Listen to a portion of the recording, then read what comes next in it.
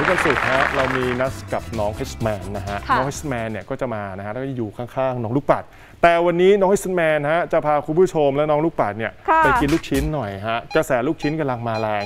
เป็นลูกชิ้นปิ้งผ่าครึ่งอะโรยพริกป่นอีกโอ้โหหืมเผ็ดจัดสะท้านจ้านทรวงนะฮะอะค่ะ เดี๋ยวไปดูซิว่าร้านนี้ขายอยู่ที่ไหนครับไปกันเลยครับ นี่นะฮะพาคุณผู้ชมฮะไปที่ร้าน ขายลูกชิ้นปิ้งฮะอยู่แถวเทศบาลเมืองสระบุรีซอย 13 ถนนพิชัยบรณรงค์สงครามฮะตำบลปากเพลียวอำเภอเมืองจังหวัดสระบุรีครับ มีร้านลูกชิ้นโบราณรสชาติจัดจ้านครับ ต้องบอกแบบนี้ฮะคนที่นี่รู้จักเป็นอย่างดีครับ เพราะว่ามีฉายาว่าร้านลูกชิ้นปิ้งเจ๊11 นิ้วรถเข็นโบราณอ่าค่ะนี่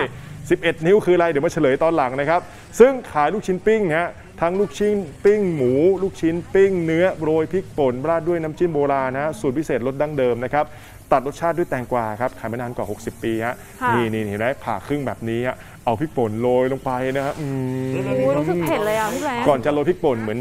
จุ่มไปที่เอ่อน้ำจิ้มกับน้ำซอสนะฮะค่ะ สูตรเด็ดนะฮะซึ่งก็คือของคุณยายจวงจะตุวันวัย 71 ปีครับ บอกว่าเนี่ยขายลูกชิ้นปิ้งมาตั้งแต่เด็กแล้วนะฮะ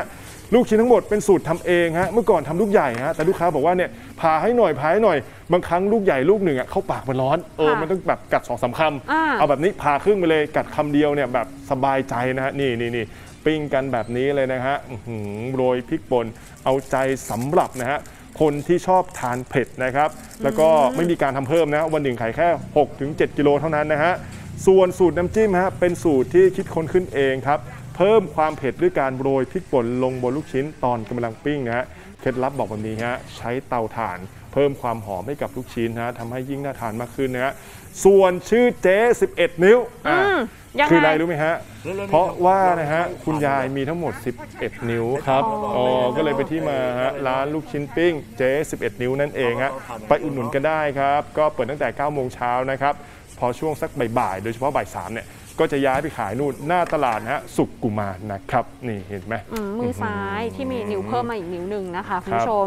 ชมข่าวติดปากนะครับ ที่ออกอากาศสดแล้วบางครั้งคุณผู้ชมเนี่ยอาจจะพลาดไม่ได้ชมครับสามารถไปติดตามได้ใน YouTube รับชมย้อนหลังนะครับ ไปชมเสร็จแล้วครับกด Subscribe ด้วยนะครับ เดี๋ยวจะพลาดข่าวสำคัญแล้วก็ความสนุกสนานครับ